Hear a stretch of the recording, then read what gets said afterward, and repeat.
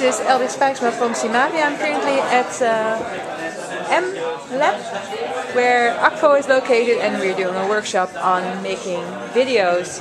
And I'm doing an interview with Basja Jantowski. Where is your nameplate? Here it is. Basja Jantowski of Rain Foundation. Yes. Basja, what brought you here today? Uh, well, just like Gert, uh, the nice building and also the good lunch, I think. Uh, but also to make my life and the life of Rain a little bit more simple because we have a lot of problems with our communication. I think we make it too complicated, and I'm here to learn how to make it a little bit more easier and how to reach out to people. So you're in favor of the really simple reporting? I like everything very simple, yes. why make life difficult? Exactly, why should okay. you? And what are you already doing with Akvo?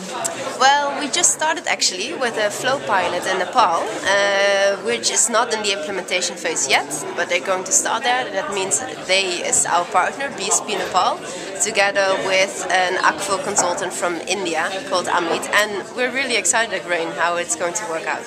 Okay, and it's going to be displayed online with Akvo?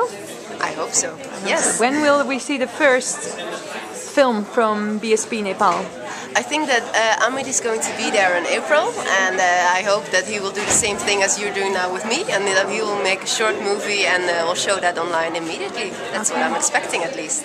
Keep us updated on it, and uh, yes. let's hope it's a good video. Thanks, okay. Thank you.